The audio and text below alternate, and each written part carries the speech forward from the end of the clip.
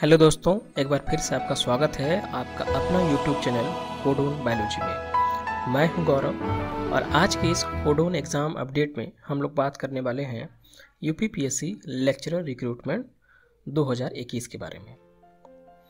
अब स्क्रीनिंग और साक्षात्कार की व्यवस्था को ख़त्म कर दिया गया है और डायरेक्टली जो है आप एग्ज़ाम प्री और मेन दीजिए, उसको कंप्लीट कीजिए और डायरेक्ट रिक्रूटमेंट में चले जाइए। आज हम लोग इसके बारे में बात करने वाले हैं वैकेंसी के बारे में और इम्पोर्टेंट डेट्स उसका एग्ज़ाम पैटर्न और उसके सिलेबस के बारे में। तो सबसे पहला बात आता है कि कब इसका शुरुआत है, जैसे कि एप्लीकेशन फॉर्म सबमिशन डेट जो है स्टार्ट हुआ है 22 दिसंबर से और ये 18 जनवरी तक चलेगा और 22 तक आप ही सबमिशन कर सकते हैं, लेकिन जो फॉर्म फिलिंग का डेट है, वो आपका 18 जनवरी को ही है। उत्तर प्रदेश सरकार के द्वारा ये लाया गया है। अगर आप ऑनलाइन अप्लाई करना चाहते हैं तो U P P S C dot U P dot N S C dot in पर जाके इसको अप्लाई कर सकते हैं। क्वालिफिकेशन इसका qualification master degree post graduate आपको रिस्पेक्टेड सब्जेक्ट में होना पड़ेगा, जिसके लिए आप अप्लाई करना चाह रहे हैं। और मेल और फीमेल कैंडिडेट के लिए अलग अलग पोस्ट रखे गए हैं, जैसे कि नौ सौ इक्यानवे पोस्ट मेल कैंडिडेट के लिए है, टोटल, और चार सौ बयासी पोस्ट फीमेल कैंडिडेट के लिए है। टोटल पोस्ट की अगर हम लोग बात करें तो चौदह सौ तिहत्तर पोस्ट है टोटल। अब बायोलॉजी की अगर बात करें हम लोग तो मेल और फीमेल के लिए इसमें भी अलग अलग सीट हैं। जैसे मेल के लिए 137 सीट है और फीमेल के लिए 91 सीट रखा गया है। मैं बायोलॉजी का इसलिए बात करता हूँ कि कोडोन बायोलॉजी जो है, ये बायोलॉजी चैनल है। और अगर अदर सब्जेक्ट का आप जानना चाह रहे हैं तो इसमें सभी सब्जेक्ट का डिटेल दिया हुआ है। आप वीडियो को पॉज करके उसको देख सकते हैं। मैंने खासकर बायोलॉजी को स्टार किया, जैसे कि ये पूरा जो है सीट मेल के लिए बनाया गया है कि किस सब्जेक्ट में कितना सीट है। और ये है फीमेल के लिए कि किस सब्जेक्ट में कितना सीट है। अब इसका सैलरी सैलरी इसका क्या होगा? इसका जो पे स्केल है, तिरानवे सौ से लेके चौंतीस हज़ार ग्रेड पे अड़तालीस सौ लेवल आठ है। क्वालिफिकेशन बस आपको जिसमें भी आप भरना चाह रहे हैं, उस सब्जेक्ट में master degree post graduate degree होना ज़रूरी है। एज लिमिट क्या है? 21 साल से 40 साल तक इसका एज लिमिट है, वो भी 1 जुलाई 2020 को हो जाना चाहिए। सिलेक्शन प्रोसेस क्या है? एक प्री एग्ज़ाम होगा प्रीलिम्स और दूसरा मेंस होगा। अब प्रीलिम्स में जो पास करेंगे, उसको मेंस क्वालिफाई करना पड़ेगा। इसके बाद उसका कंप्लीट हो जाएगा। इसमें इंटरव्यू और वो सारी चीज़ें ख़त्म कर दी गई हैं। आपको दोनों एग्ज़ाम क्वालिफाई करने हैं। ये इम्पोर्टेंट डेट है, यानी कि 22 दिसंबर को ये शुरू हुआ है। 18 जनवरी तक आप भर सकते हैं। फ़ी पेमेंट करने का 22 जनवरी तक समय है। यानी कि हर हाल में 22 जनवरी को ये क्लोज हो जाएगा।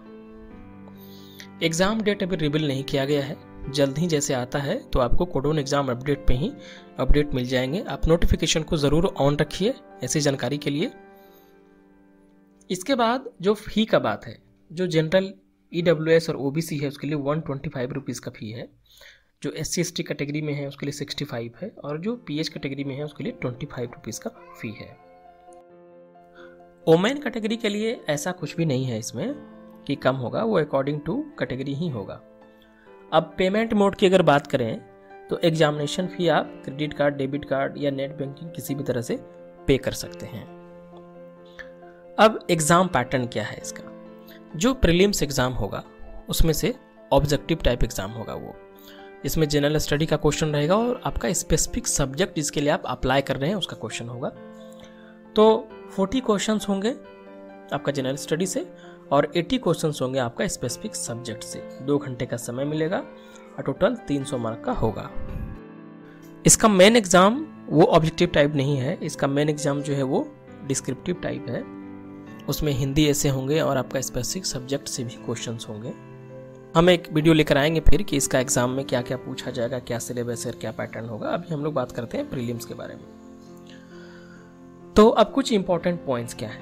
इसमें निगेटिव मार्किंग है। अगर आप गलत क्वेश्चन क्लिक करते हैं तो उसके लिए निगेटिव मार्किंग है। S C S T candidate के लिए मिनिमम क्वालिफिकेशन जो है, जो उसका मार्क्स होना चाहिए, वो फिक्स्ड है और वो 35 परसेंट है। इतना आपको प्रीलिम्स में करना ही है।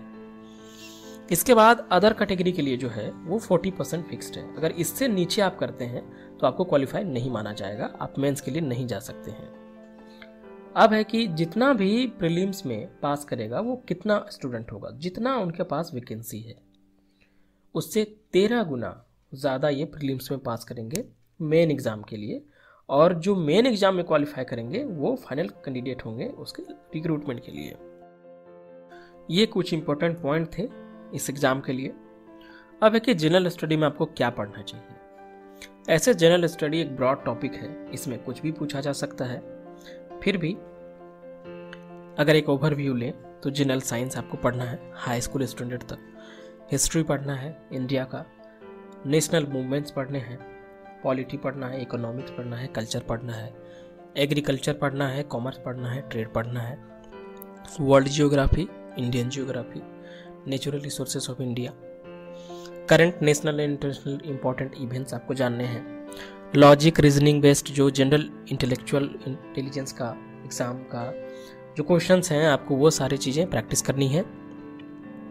जैसे एजुकेशन कल्चर एग्रीकल्चर इसमें जो कुछ स्पेसिफिक नॉलेज होते हैं, इस सब के बारे में, वो आपको जानना है। खास कर चूँकि ये उत्तर प्रदेश का एग्ज़ाम है, उत्तर प्रदेश में जो ये सारी ट्रेडिशंस हैं, उसको आपको ज़रूर जानना चाहिए। इसके बाद elementary mathematics up to eighth level up to tenth level भी आप कर सकते हैं। जो कि आपके लिए ज़्यादा बेहतर है। इसके बाद इकोलॉजी और इन्वायरमेंट ये सभी जनरल स्टडी में आते हैं और ये सभी आपको कवर करने चाहिए।